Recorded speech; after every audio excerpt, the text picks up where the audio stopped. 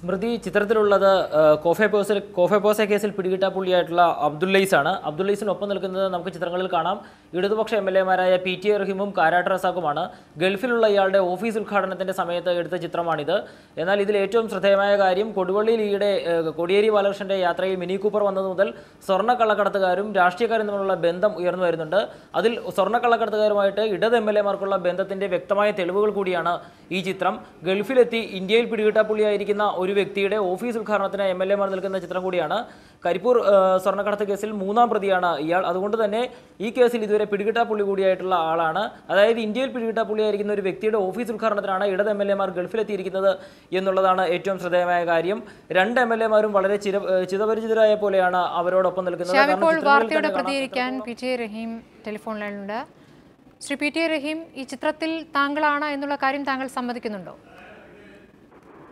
ഗൾഫിൽ പോയപ്പം അവിടെ ഒരു ഞങ്ങൾക്ക് ഇലക്ഷൻ കഴിഞ്ഞപ്പം സ്വീകരണ പരിപാടികൾ ഉണ്ടായിരുന്നു. അതിന് പോയപ്പോ ഒരു പിന്നെ ഒരു എസ്റ്റാബ്ലിഷ്മെന്റിന്റെ ഉദ്ഘാടനത്തിന് വിളിച്ചപ്പം എടുത്ത ഫോട്ടോ ആയിരിക്കണം എന്ന് തോന്നുന്നു എനിക്ക്. ഈ അബ്ദുല്ലൈസ് എന്ന വ്യക്തിയെ താങ്കൾക്ക് പരിചയമില്ല? അബുല്ലൈസിന് എനിക്ക് പരിചയമുണ്ട്. അബുല്ലൈസ് എന്റെ വീട്ടിന്റെ അടുത്താണ്. എന്റെ ഒരു ബന്ധുവാണ്. എന്റെ ഒരു ലോഹിക്കാരനാണ് അബുല്ലൈസിന് എനിക്ക് നല്ല ബന്ധമുണ്ട്. കോഫെ പോസ പ്രകാരം പിടികിട്ടാപ്പുള്ളിയാണ് അദ്ദേഹം. അക്കാര്യം താങ്കൾക്ക് അറിവുണ്ടോ അതും അറിയാം. അതും അറിഞ്ഞുകൊണ്ടാണ് ഉദ്ഘാടന പരിപാടിയിൽ പങ്കെടുത്തത്. ഉദ്ഘാടന പരിപാടിയിൽ അയാൾ വന്നതിന് ഞാൻ ഉത്തരവാദിയില്ല. അയാളെ അയാളെ പരിപാടിയിലല്ലോ അയാളുടെ പരിപാടിയല്ലേ? അയാളുടെ ഓഫീസിലല്ല. അയാൾ ഫോട്ടോ എടുത്തിട്ടുണ്ടാവും. അതിലെന്താ കുഴപ്പമുള്ളത്? ശ്രീ റഹീം വ്യക്തതയ്ക്ക് വേണ്ടി ചോദിക്കുകയാണ്. അയാളുടെ ഓഫീസിന്റെ ഉദ്ഘാടനത്തിനല്ല താങ്കൾ പോരെന്നാണോ ആ, അല്ല അല്ല അല്ല അല്ല മേപ്പോയിൽ എന്ന് പറയുന്ന ഒരു വ്യാപാര സ്ഥാപനം ഉണ്ട് അവിടെ ഉണ്ട് അവർ കൊടുവള്ളി വലിയ ഒരു ബിൽഡിംഗ് ഉണ്ടാക്കുന്നുണ്ട് ഇപ്പോ. അതിനാണ് പോയത്. അല്ലാണ്ട് ലൈസിന്റെ ഉദ്ഘാടനത്തിന് ഞാൻ പോയിട്ടില്ല. ലൈസ് അവിടെ ഒരു പക്ഷെ അവിടെ വന്നിട്ടുണ്ടാവും ആ പരിപാടിക്ക്. പക്ഷെ ഒരു ചിത്രത്തിൽ താങ്കൾക്കൊപ്പം അയാൾ നിൽക്കുമ്പോൾ അത് പിന്നീട് പ്രശ്നമാകുമെന്നുള്ള ഒരു ആലോചന താങ്കൾക്കുണ്ടായില്ല? എനിക്ക് എനിക്ക് ഒരു പ്രശ്നമായി എന്ന് എപ്പോഴും തോന്നില്ലല്ലോ ഞാനൊരു എന്റെ ഞാനൊരു സ്ഥലത്ത് പോകുമ്പം ആ കൂടുതൽ ആരോ വന്ന് ഫോട്ടോ ആരോ എടുത്താൽ എനിക്കെന്ത് പ്രശ്നമാവാനാ? എനിക്കൊരു പ്രശ്നവും എപ്പോഴും ഇല്ല പ്രശ്നം. ഇനിയും ഞാൻ ഫോട്ടോ എടുക്കുകയും ചെയ്യും. അയാൾ വരുന്ന മാന്റെ അടുത്ത് വന്ന് അയാളെ ഫോട്ടോ എടുത്ത് ഞാനെന്താ ചെയ്യാം? ഇനിയും അയാൾക്കൊപ്പം നിൽക്കുമെന്നാണോ താങ്കൾ പറയുന്നത്? നിൽക്കുമെന്നല്ല. ഏതെങ്കിലും സന്ദർഭത്തിൽ ആരോ ഫോട്ടോ എടുത്തതിന് എനിക്ക് ഉത്തരവാദിത്തമില്ലാന്ന് ഞാൻ പറയുന്നത്.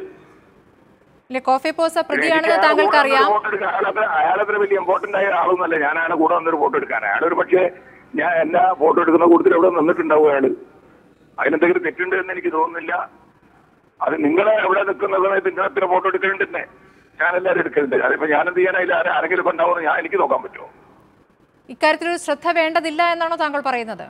ഒരു സൂക്ഷ്മതയും വേണ്ടതില്ല. ആരെങ്കിലും വന്ന് ഫോട്ടോ എടുക്കുന്ന സമയത്ത് നിൽക്കുന്ന ഉമ്മൻചാണ്ടി ഇപ്പൊ പ്രതിയാകാൻ പോവാണ്. അയാളെ കൂടെ ആണെങ്കിൽ എത്ര ഫോട്ടോ ഉണ്ടാവും?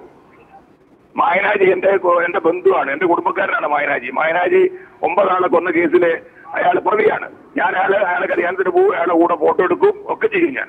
ഈ കാരാട്ട് ഫൈസലിന്റെ വാഹനം കാരാട്ട് ഫൈസലിന്റെ വാഹനം കോടിയേരി ഉപയോഗിച്ചാലും തെറ്റില്ല എന്നാണല്ലോ താങ്കളുടെ നിലപാട്?